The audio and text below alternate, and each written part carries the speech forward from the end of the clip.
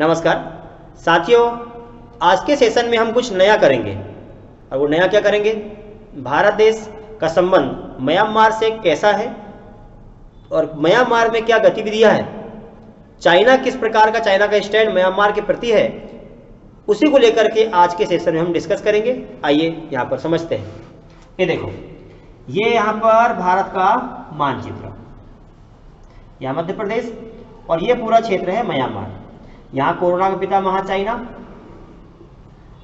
साथियों, यहाँ म्यांमार जो देश है, म्यांमार देश में ये जो भाग ये वाला, इसको हम कह देते हैं रखाइन प्रदेश। ये रखाइन है। और रखाइन ही साथियों, यही वो स्थान है जहाँ से रोहिंग्या मुसलमान को भगाया गया था। और रोहिंग्या मुसलमान को क्यों भगाया गया था, इसका कारण भी मैंने बताया था आपको कि सीधा सीधा संबंध इसका कैसे अफ़गानिस्तान से है और बामियान प्रदेश से है और गौतम बुद्ध की मूर्ति से है। मैंने इसका पूरा वर्णन वीडियो में ऑलरेडी करो चुका हूँ। तो ये म्यांमार में रखाइन प्रदेश। आप ध्यान देना पड़ेगा, यहाँ जो म्यांमार क्षेत्र है साथियों, म्यांमार इस प्रकार से बना दिया। म्यांमार में दो नदियाँ हैं। किस प्रकार से? एक नदी का नाम ये वाली जो है, ये सालविन की नदी है, सालविन। और इसको बोलते हैं इरावती नदी। तो सालवीन और इरावती नदी, ये दो नदियाँ हैं, इसके बीच के क्षेत्र को हम कहते हैं सान का प्रदेश, सान का पठार कहते हैं। और सान पठार, यहाँ पर साथियों, धान की खेती बहुत ज़्यादा होती है। क्वेश्चन बनता है यहाँ से, सालवीन नदी कहाँ पर है और इरावती कहाँ पर है? इरावती, सालवीन यहाँ पर है। ये सान का पठार, जहाँ धान सर्वाधिक देखने को मिल जाती है। अच्छा साथियों अब बात आई धान की तो दुनिया में सबसे ज़्यादा धान कहाँ होता है? चावल कहाँ होता है? चाइना में होता है। लेकिन म्यांमार देश में इस क्षेत्र में जो होता है, वो होता है धान की खेती। और यहाँ पर ये क्षेत्र है, इसका नाम है रंगून। और जैसे ही रंगून आता है तो यहाँ दो विशेष आपको याद होगा। रंगून में सबसे ज़्यादा पहले सबसे खतरनाक खतरनाक जेल हुआ करती थी। रंगून का नाम सुना। जेल का मतलब व्यक्ति, आधा खत्म।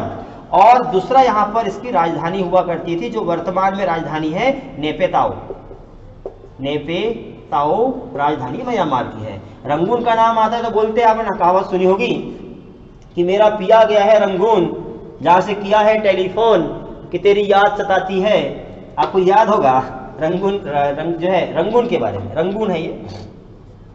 अच्छा और देखिए, फिर से देखना, ये है भारत का मानचित्र, मध्य प्रदेश, यहाँ पर म्यांमार है। म्यांमार के नीचे यहाँ पर एक द्वीप है।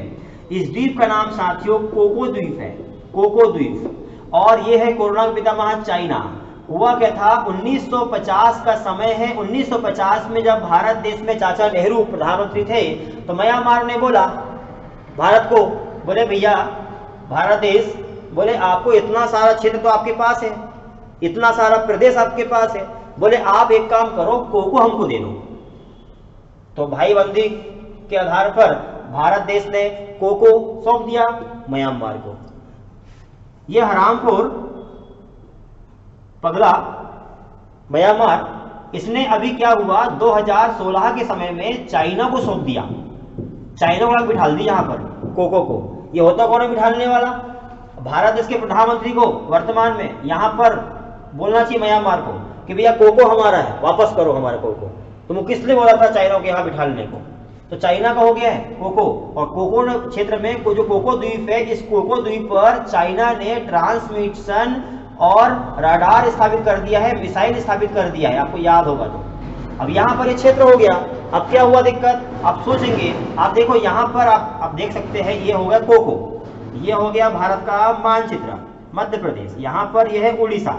और उड़ीसा में कलाम द्वीप। और आप जानते हैं कलाम द्वीप में मिसाइल का परीक्षण होता है। और यहाँ देखोगे ये है आंध्र प्रदेश आंध्र प्रदेश में Satish Dhawan high altitude range आपको याद ही है।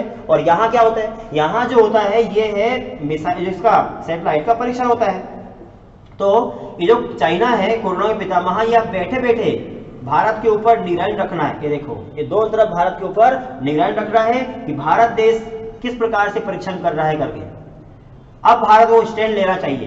कौन सा वाला? ये भारत का मानचित्र मध्य प्रदेश, यहाँ पर है कोको, यहाँ अंडमान निकोबार द्वीप समूह, भारत देश को यहाँ जाना चाहिए यहाँ पर, और यहाँ जाकर के इसको धड़ाल निकाल के इसको उड़ाना चाहिए। हम तो डूबे सनम, तुझे भी तो डूबे। सही है कि नहीं? ऐसा है? तो ये आपका, समझ में आ गया होगा ये टॉपिक अच्छा थोड़ा और आगे बढ़े। अब थोड़ा देखेंगे आप। ये है भारत का मानचित्र मध्य प्रदेश।